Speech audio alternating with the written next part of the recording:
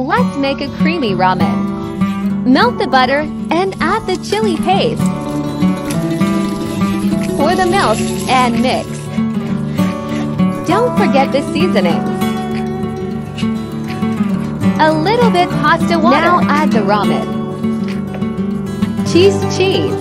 Oh god, look at this. I love it.